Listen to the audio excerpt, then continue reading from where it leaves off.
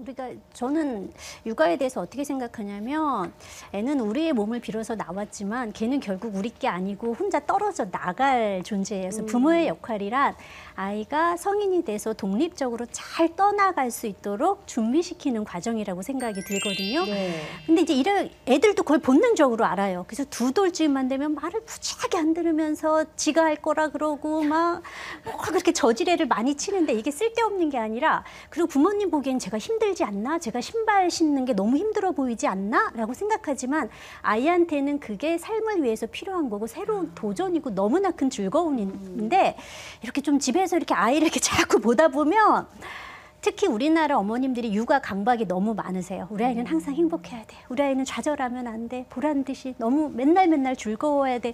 그러다 보니까 이렇게 눈을 계속 감시 카메라처럼 보고 있으니까 아이는 도전하려고 하는데 가서 그냥 해주게 돼요. 그러면 네. 아이들은 의존성이 발달시키게 되고 나는 스스로 뭔가를 할 수 없어. 그래서 캥거루족이 태어나는 거죠. 커서도 그렇죠. 엄마 뱃속에만 네. 있게 되는.